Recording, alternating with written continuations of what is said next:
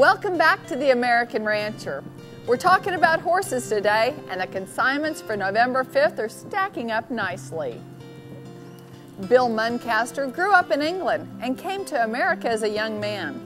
A love for horses has been a part of his life since his childhood and has grown ever since. Bill is an accomplished horseman and trainer who learned a great deal from the noted natural horseman Ray Hunt. Born and raised in England, Bill Muncaster came to America in the early 1980s and made his home in Dallas, Texas. From his childhood, he has always loved horses. Bill's love for horses eventually led him to cross paths with the legendary natural horseman Ray Hunt. My wife, over 14 years ago, for my birthday, he bought me a uh, colt starting tape of Ray Hunt's. And I watched this and I found it very interesting. So Susan fixed it up for me to go to a clinic, and I arrived there pretty early, got my horses put up, and here's this guy riding in the indoor arena, and I'd never seen anything like it. I wasn't sure what I was seeing, and I didn't understand it, but I knew I wanted it. And that was my association. That's when I first started with Ray. And I started to see what was out there and what could, what, what could be achieved if you went about it the correct way. Over time, they became good friends, and Bill became a good student of the training techniques and philosophy that Ray Hunt proclaimed the more I tried to force what I thought I was seeing onto my horse, the worse it became. Because I was not accepting of what the horse's needs were. And then finally, I started to enjoy those small changes and those slight tries and recognizing them. And that's the big deal. If you can recognize them like Ray and Tom Dorrance were able to do, oh, it's unbelievable what you can get done in such a short space of time. You say you take care of his needs, he will take care of yours. You couldn't repeat Ray, but Bill has learned a lot. And I, that's why I had read Ray Hunt's book, which I love telling Bill, before he was interested, but I couldn't get him interested till he saw an article on Ray in Western Horseman. And then I pushed it because I felt like that's where he needed to go. Bill and Susan Muncaster established the Diamond M Ranch in 1992. The ranch is located 70 miles northwest of Dallas Fort Worth in the North Texas countryside between Decatur and Gainesville. Cornerstone to the ranch is the growing equine breeding and training program.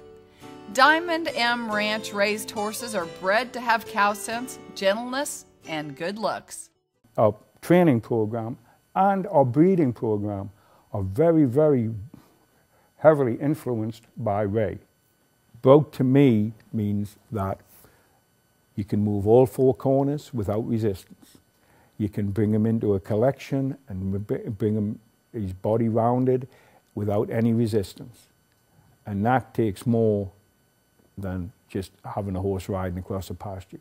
And that's what we do here at the ranch. We spend our time our breeding program is really designed uh, for versatility ranch horse, which is a really up and coming sport. The ranch has 16 broodmares and stands the Gray Stallion Straight Silver Badge. Over the years, as business has increased, they've now started showing in reining cow horse competitions. This has helped establish the breeding program along with the positive references from previous clients. The Diamond M Ranch also successfully runs an Angus cow calf operation, maintaining a breeding herd. Bill's relationship with Ray Hunt was lasting, and today, Bill imparts these same principles and training methods to the horses that he breeds and raises. What I like to do when I start a horse is just try to get, feel the face a little, try to draw them underneath so the pushing through the bit. As soon as I feel it, I like to release, release slowly. A lot of guys like to just throw the reins away once they've got it, but what I find is if you do that, the head pops up. If you release slowly, you give them the reward, and most of the time the head goes down. It's also important to move your legs so that the horse is riding through the bit.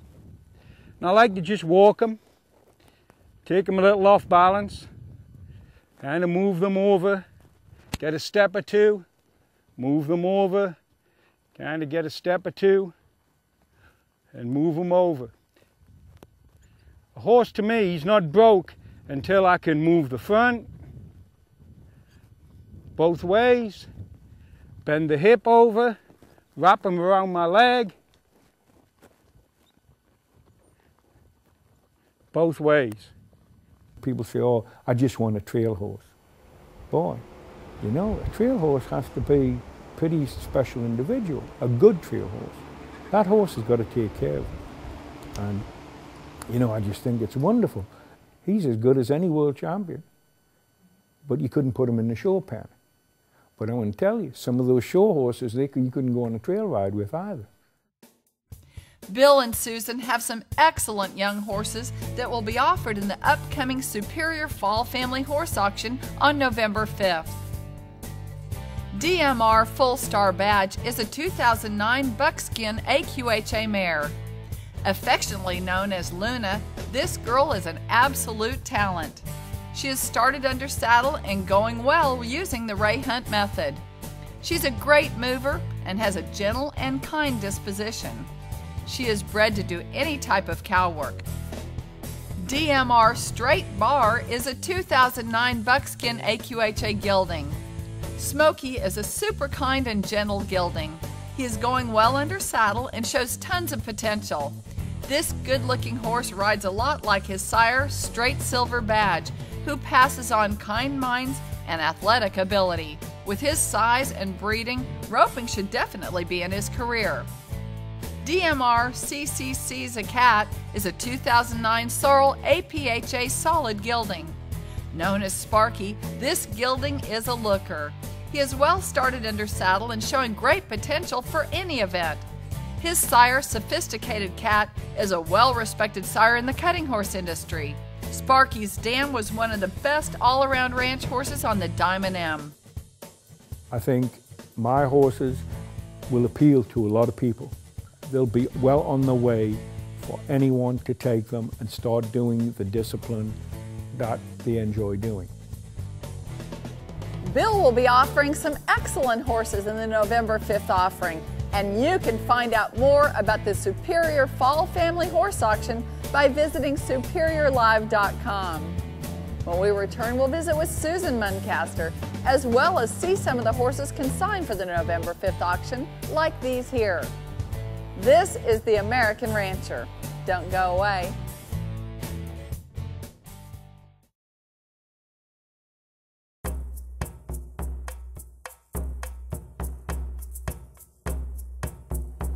Welcome back to the American Rancher.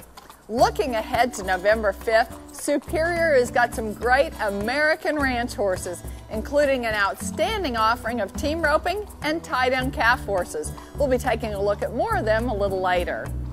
Now we visit Susan Muncaster and take a look at some plumb sassy cowgirls. 30 years of illustration, working for businesses, children's books, advertising, illustration. I pretty much did it all, and now all I want to do is go up in my studio and paint cowgirls. That's all I want to do. And animals, lots and lots of horses and dogs. My line has been called Plum Sassy Cowgirls. Um, it's been around for a while. I'm painting looser and just having fun, and I have a gallery in Phoenix that I send all my stuff to, and I'm just going more in the fine arts world and less in the deadline world. Susan Edison Muncaster has been an illustrator for more than 30 years. One of her first jobs was as art director of WKRC TV News in Cincinnati, where her court sketches appeared repeatedly on ABC network shows like ABC World News Tonight, 2020, and Good Morning America. Several years ago, Susan created her own line of cowgirls in Western art. Painting in acrylic glazes, she moves bold color with energy and a stylized realism. Plum Sassy Cowgirls, a tribute to the spirited and tough cowgirl, have been displayed in the National Cowgirl Museum and Hall of Fame and the Montana Historical Society magazine cover.